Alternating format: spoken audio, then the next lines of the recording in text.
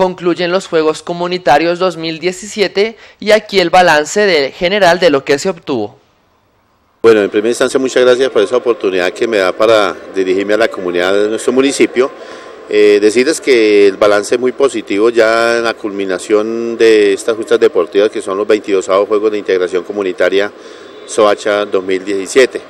Tuvimos una cobertura por equipos de más de 200 equipos en todas las disciplinas, estamos hablando de 285 equipos en promedio eh, a nivel deportivo individual tenemos una cobertura de 300, 3.040 y algo de deportistas, que es el objetivo que está planteado dentro del plan de desarrollo municipal. Entonces hemos cumplido la meta, hemos cumplido el objetivo.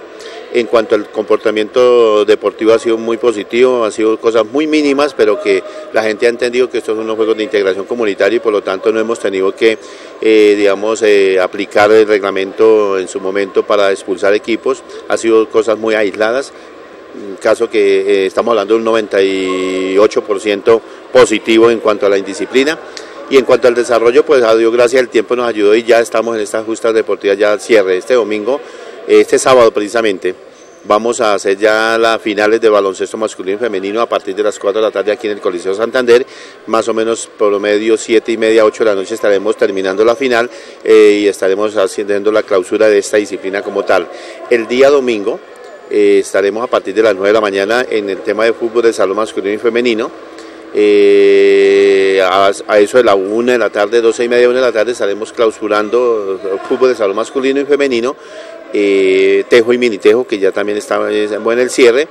Y a las 4 de la tarde estaremos ya cerrando en el estadio, porque a partir de las 12 del día de la final en el estadio en el tema de fútbol. Ya para el día 17 tenemos la Olimpiada como cierre final de nuestras juntas deportivas con voleibol mixto y así de esta manera estaríamos cumpliendo de manera muy positiva con estas justas deportivas. ¿Cómo se preparan para recibir un 2018 cargado de más juegos, más deportistas, toda una rama diferente también de deportes que se quieren incursionar?